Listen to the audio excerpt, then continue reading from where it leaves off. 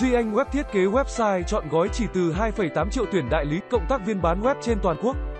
Hotline 18006223 hoặc 0925099999, website duyanhweb.com.vn. Tìm hiểu thông tin về FTA là gì? FTA là từ viết tắt của một hiệp hội mang tên là Hiệp định Thương mại Tự do. Theo đó, hiệp định này chính là thỏa thuận về thương mại giữa các quốc gia với nhau. Những nước sẽ thực hiện các lộ trình liên quan đến việc cắt giảm và miễn thuế quan hoặc xóa bỏ thuế quan để có được một khu vực mậu dịch tự do phát triển. Hiện nay, có đến hơn 200 hiệp định thương mại tự do giữa các nước đang được thực thi và có hiệu lực. Tiêu biểu và nổi bật lên trong đó phải kể đến Hiệp định Thương mại Tự do Liên minh châu Âu Chile, Hiệp định Tự do Thương mại ASEAN với Trung Quốc. Những hiệp định này đã và đang tỏ ra hết sức hiệu quả và thiết thực cho sự phát triển kinh tế của các nước tham gia. Vì vậy ngày càng có nhiều nước tham gia ký kết các FTA này, tìm hiểu về FTA sẽ bao gồm những gì? Chúng ta vừa tìm hiểu và biết được FTA là gì, đồng thời cũng cần tìm hiểu nội dung trong các hiệp định đó bao gồm những phần chính gì. Nội dung quy định về cắt giảm thuế quan và phi thuế quan thực hiện hình thành nên danh mục các mặt hàng có thể thực hiện cắt giảm thuế quan. Thông thường, những áp dụng này thường là 90% mục đích thương mại, tiếp đó là nêu ra quy định về việc thực hiện lộ trình cắt giảm thuế quan ở trên.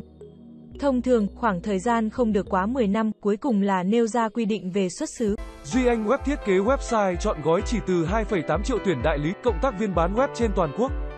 Hotline 18006223 hoặc 0925099999, website duyanhweb.com.vn của hàng hóa.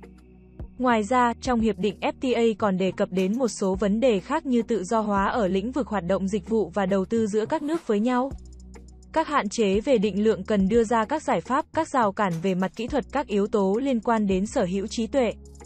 Thực hiện các quy định về cạnh tranh, các mua sắm chính phủ, các yếu tố về bảo hiểm, lao động nhân sự và môi trường. Tìm hiểu về những loại FTA phổ biến hiện nay, thông qua căn cứ tìm hiểu về FTA là gì chúng ta có thể hình dung và biết được loại hình hiệp định này hiện có các loại tồn tại mà nước Việt Nam ta hiện đang tham gia như sau đây. Loại hình FTA khu vực đây là loại hiệp định thương mại tự do được ký giữa các nước cùng thực hiện các hoạt động thương mại ở cùng một tổ chức khu vực. Loại hình FTA song phương, đây là hiệp định thương mại tự do giữa hai nước ký kết hợp với nhau cùng thực hiện. Loại hình FTA đa phương, loại hiệp định thương mại tự do do nhiều nước nhiều đối tác tham gia thực hiện ký kết. Loại hình FTA giữa tổ chức với một nước, chúng ta có thể thấy đó là hiệp định tổ chức ASEAN ký với Trung Quốc. Với Ấn Độ, với Hàn Quốc mỗi một loại hiệp định này sẽ có những đặc điểm hoạt động và quy định khác nhau. Tùy theo đối tượng tham gia, yếu tố tham gia như thế nào sẽ có những thỏa thuận cụ thể.